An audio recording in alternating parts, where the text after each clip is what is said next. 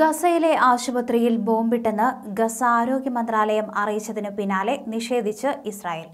ഗസയിലെ ആശുപത്രി ആക്രമിച്ചിട്ടില്ലെന്ന് കാണിച്ച് ഇസ്രായേൽ പ്രധാനമന്ത്രി ബെഞ്ചമിൻ നെതന്യാഹു ആണ് നിഷേധക്കുറിപ്പിറക്കിയത്.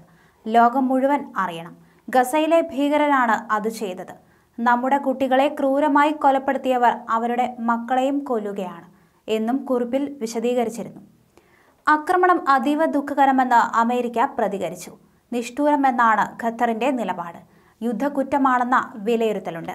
ഇതിനിടെ ഇസ്രായേൽ തങ്ങളല്ല ഇതിന് പിന്നിലെന്ന് പറയുന്നു. ഇസ്ലാമിക് ജിഹാദികൾ ഇസ്രായേലിനെതിരെ തൊടുത്ത മിസൈൽ ആക്രമണം പരാജയപ്പെട്ട് ആശുപത്രിയിൽ പതിച്ചതാകാമെന്ന് ഇസ്രായേൽ സൈനിക വക്താവും അറിയിച്ചു. അല്ലാഹ്ലി ബാബ്സ്റ്റിക് ആശുപത്രി ആക്രമിക്കപ്പെട്ട സമയത്ത് ഗസയിൽ നിന്ന് തന്നെ നിരവധി റോക്കറ്റുകൾ ബോംബാക്രമണം തുടങ്ങിയിരുന്നു. അങ്ങനെയാകാം ആശുപത്രി ആക്രമിക്കപ്പെട്ടത്.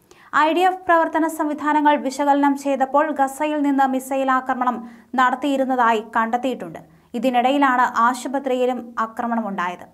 വിവിധയിടങ്ങളിൽ നിന്ന് ലഭിച്ച ഇന്റലിജൻസ് വിവരം അനുസരിച്ച് ആശുപത്രിയിലുണ്ടായ ആക്രമണത്തിന്റെ ഉത്തരവാദിത്തം ഇസ്ലാമിക് ജിഹാദ് ഭീകര സംഘടനയ്ക്കാണെന്നും ഇസ്രായേൽ സൈനിക വക്താവ് ട്വിറ്റിൽ കുറിച്ചു. മധ്യഗസയിലെ അലഹ്ലിയ അറബ് ആശുപത്രിയിലാണ് അർദ്ധരാത്രിയോടെ ആക്രമണം നടന്നത്. സംഭവത്തിൽ അഞ്ഞൂറിലധികം പേർ കൊല്ലപ്പെട്ടതായും നിരവധി പേർ കെട്ടിടങ്ങൾക്കിടയിൽ കുടുങ്ങിക്കിടക്കുന്നതായും ഗസ ആരോഗ്യ മന്ത്രാലയം അറിയിച്ചിരുന്നു. വീട് വിട്ട ആയിരങ്ങൾ സുരക്ഷിതമെന്ന് കരുതി അഭയം തേടിയ ആശുപത്രിയിലായിരുന്നു ആക്രമണമുണ്ടായത്.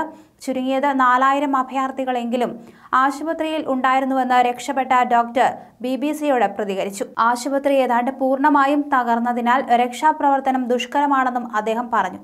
സംഭവത്തിൽ മൂന്ന് ദിവസത്തെ ദുഃഖാചരണം പ്രഖ്യാപിച്ചതായി ഫലസ്തീൻ അതോറിറ്റി പ്രസിഡന്റ് മഹ്മൂദ് അബ്ബാസ് അറിയിച്ചിരുന്നു.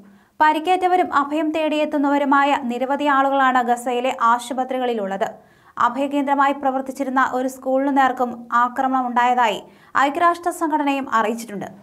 ആക്രമണത്തിന് പിന്നിൽ ഇസ്രായേലാണെന്നാണ് ഫലസ്തീൻ പറയുന്നത്. അമേരിക്കൻ പ്രസിഡന്റ് ജോ ബൈഡനുമായുള്ള ചർച്ച ഫലസ്തീൻ വേണ്ടെന്ന് വയ്ക്കുകയും ചെയ്തു. ഈ സാഹചര്യത്തിൽ ഫലസ്തീനിലേക്ക് ജോ ബൈഡൻ പോകില്ലെന്നാണ് സൂചന. ഹമാസും ആശുപത്രിയിലെ ആക്രമണത്തിന് പിന്നിൽ ഇസ്രായേലാണെന്നാണ് പറയുന്നത്. American president Joe Biden Israel Jordan സന്ദർശനത്തിനായി വാഷിംഗ്ടണിൽ നിന്ന് തിരിച്ചു.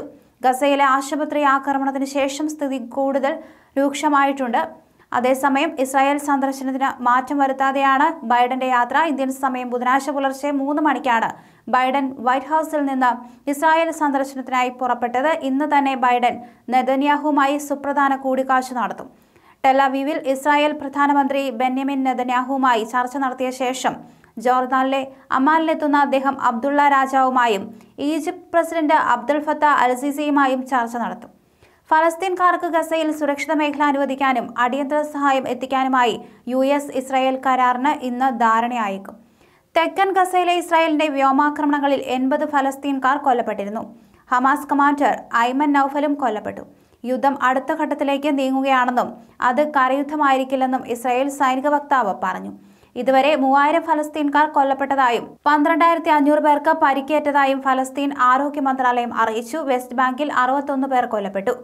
ആയിരത്തി ഇരുന്നൂറ്റി അമ്പത് പേർക്ക് പരിക്കേറ്റു. അതിനിടെ തെക്കൻ ലെബനൻ അതിർത്തിയിൽ ഇസ്രായേൽ സൈന്യവും ഹിസ്ബുള്ളയും തമ്മിലുള്ള സംഘർഷം രൂക്ഷമായി. ഷെല്ലാക്രമണത്തിൽ ഹിസ്ബുള്ള പക്ഷത്തെ നാല് പേർ കൊല്ലപ്പെട്ടു.